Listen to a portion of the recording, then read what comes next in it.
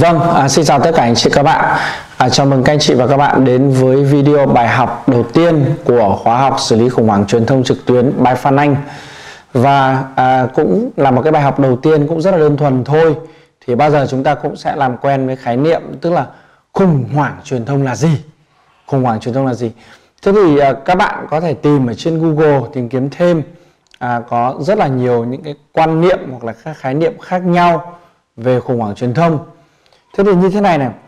À, khủng hoảng truyền thông là là một cái quá trình mà uy tín của doanh nghiệp của thương hiệu của sản phẩm hoặc là của một con người là nhân hiệu à, bị đem ra bàn tán thảo luận quá nhiều theo một cái hướng tiêu cực hoặc là không có lợi cho à, doanh nghiệp cho thương hiệu và cho cá nhân đó.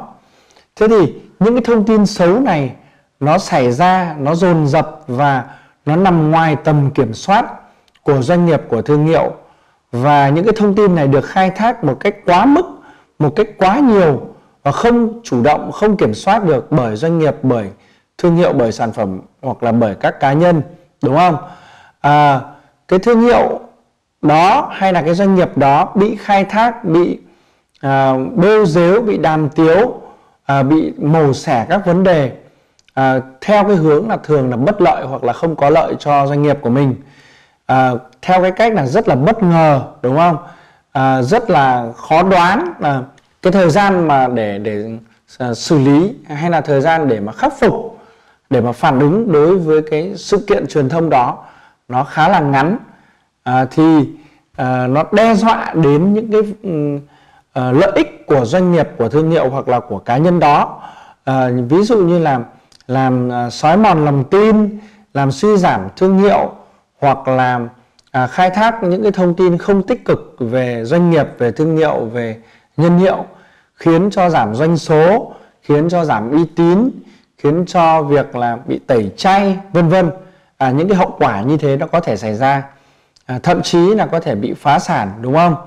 Và à, cái như vậy nó truyền thông một cách quá mức ở trên các phương tiện à, mạng xã hội à, website báo chí à, truyền hình vân vân thì à, nó hình thành nên một cái gọi là khủng hoảng truyền thông. Đó. À, thì cái khủng hoảng truyền thông nó bao gồm hai cụm từ là cụm từ khủng hoảng và cụm từ truyền thông. Thì chúng ta thấy rằng là cái cụm từ này cũng rất là dễ hiểu nó không phải là cái từ khó hiểu gì cả đúng không?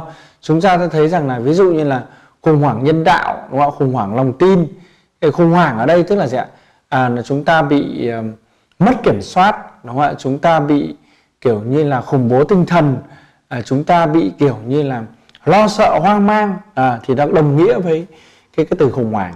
Còn truyền thông đó là tất cả những cái vấn đề liên quan đến hoạt động mà quảng cáo thông tin trao đổi à, ở trên các cái trang mạng xã hội thì người ta gọi đó là truyền thông.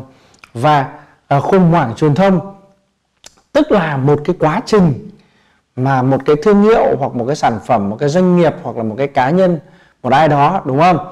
À, bị như tôi vừa nói đấy là bị khai thác những cái thông tin xấu những thông tin không tích cực những thông tin không có lợi một cách quá mức một cách không có thể kiểm soát à, hoặc một cách bất ngờ à, trong một cái khoảng thời gian ngắn à, khiến cho doanh nghiệp khiến cho thương hiệu khiến cho bản thân chúng ta khó lòng có thể xoay sở khó lòng có thể phản ứng và đôi khi đó là những cái sự bất ngờ đó sự chủ quan chúng ta không tính đến đúng không?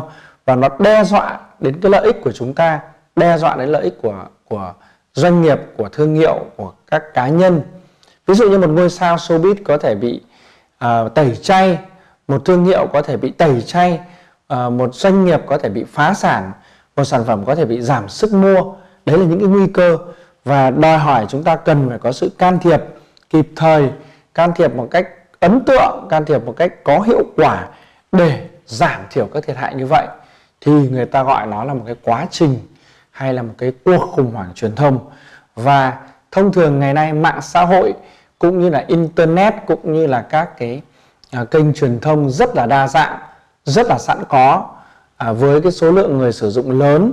À, ví dụ như là Facebook ở Việt Nam là hiện nay đang có khoảng 62 triệu tài khoản người dùng à, khoảng độ 64 triệu người sử dụng internet à, với khoảng độ 95 triệu dân số nhưng mà có tới khoảng 135 triệu chiếc điện thoại.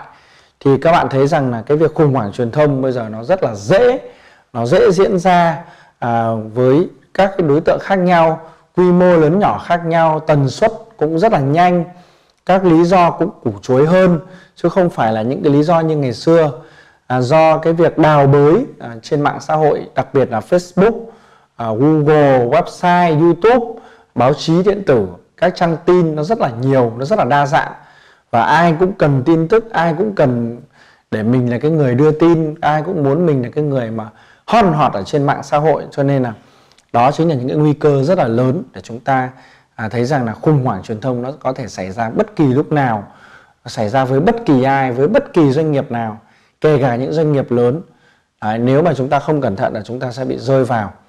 Và như vậy chúng ta đã hình dung sơ bộ về khủng hoảng truyền thông rồi chứ ạ? Vâng. Thì cái video này tôi chỉ nói đơn giản giới thiệu về à, cái khái niệm cái quan điểm của tôi những cái hiểu biết của tôi nghiên cứu của tôi về cái gọi là khủng hoảng truyền thông còn các bạn có thể lên Google tìm như tôi đã giới thiệu lúc đầu. Có rất nhiều các cái khái niệm rất nhiều các quan điểm hoặc những cái ý hiểu khác nhau. Hoặc là các bạn có thể sử dụng từ khóa tiếng Anh. Các bạn tìm trong cái từ khóa à, khủng hoảng truyền thông này thì các bạn sẽ ra được những cái định nghĩa cho riêng mình.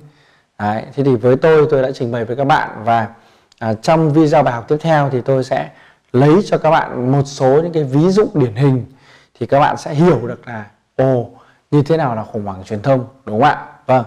Một lần nữa xin được chào các anh chị xin được cảm ơn các anh chị đã theo dõi video này.